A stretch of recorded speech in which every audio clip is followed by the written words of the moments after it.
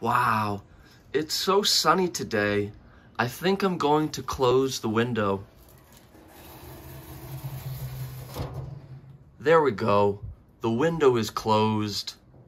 Hello, and welcome to another lesson from the Phrasal Verb King. So here, at the beginning of my video today, the window was open and I closed it. I closed the window. But now, right now, I am opening the window back up to open once again, to open back up. So, in my last lesson, I taught all the different examples and all of the phrasal verbs for to open up, to open up. So if you have been phrasal verb following along, if you have been paying attention and watching my lessons, then this lesson I think will be very helpful because I'm going to teach the opposite of to open up. And I am going to teach you all of the phrasal verbs using the verb to close with some different prepositions. So, if you have been following along, you know that I always say to pay attention to the context of the sentence to try to understand the phrasal verb within the sentence. So here we go. This is a great question. Have many businesses and restaurants closed down in your town because of the bad economy from the pandemic? This is a very powerful question. One more time. Have many businesses and restaurants closed down because of the bad economy from the pandemic? Well, let's think about the context for a second. Because of the pandemic, many people couldn't go to restaurants to eat because people couldn't be in a public place together. And so, because of this, many of the restaurants were having a really hard time because they were not making a very good business because they did not have many, or in some cases, they didn't have any customers coming to eat. So, what happens when a business can't make money? A business is going to close down, and a business is going to very unfortunately go out of business. So, if a business closes down, it's not going to exist anymore. It's going to cease to conduct business, to stop doing business when a business, a restaurant, closes down. Are you closed off emotionally around new people? One more time. Are you closed off emotionally around new people. You remember the phrasal verb to open up? Well, to open up emotionally would be really to share, to share your feelings, to communicate with new people. But if you are the opposite of this, if you are closed off, then you are an introverted person you are a very shy person.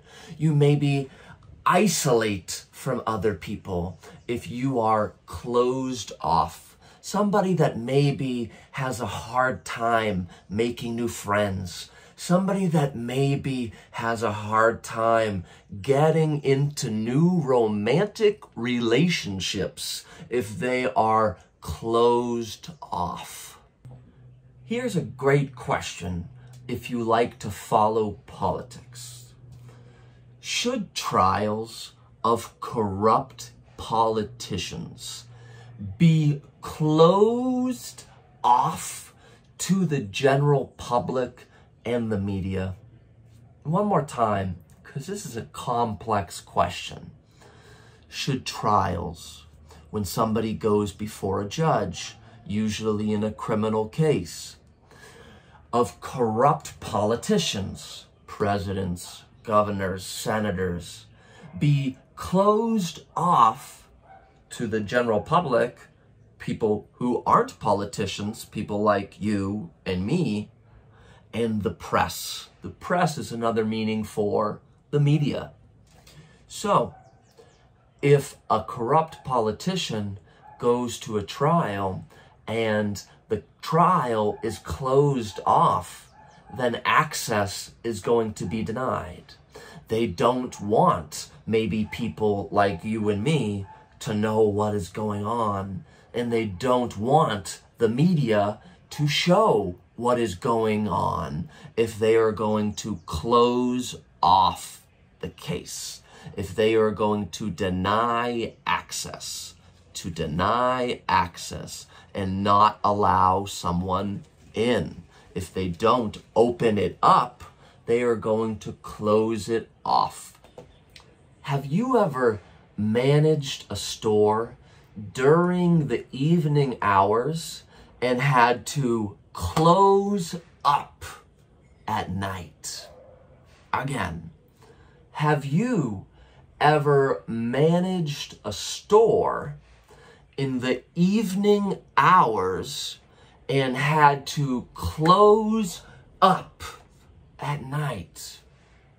Well, when a business closes for the evening at nighttime, usually the manager has to close up the store. So nobody is going to, phrasal verb, break in to the store and rob the business. So usually the manager to the store is going to lock up the business. The manager is going to close up the business by locking the front door, locking the back door, and in many cases, setting an alarm. When you close up a business, when you secure it, when you lock it, Here's a good question for everybody that likes to spend time in the outdoors, in nature. What should you do if you are alone on a trail and a mountain lion starts to close in on you? One more time, okay? What should you do if you are hiking alone on a trail and a mountain lion starts to close in on you. Well, a mountain lion is like a big cat. We have a lot of mountain lions in the United States, in places like Colorado, Utah, New Mexico. And a lot of times, mountain lions attack people that are out hiking or running in these trails. So, what should you do if a mountain lion starts to close in on you to prepare its attack, well, if a mountain lion starts to close in on you, you want to stand tall and you want to make a lot of noise to scare the mountain lion. So the mountain lion will, another phrasal verb, run away. Whoa, my crown! And so finally, my last question which I really love. Are you closing in on your English goals? You got that? Are you? Are you closing in on your English goals? Hmm. Well, you started your English language journey speaking nothing. And now, if you understand this video and these phrasal verbs that I am teaching you, your English is really improving. Your English is really getting better. And you, yes, you, you are closing in on your English goals. you are accomplishing your goals, if you are closing in on your English speaking goals. So, this was a great lesson, and I'm really happy if you are closing in on your English speaking goals and starting to learn some phrasal verbs from the Phrasal Verb King.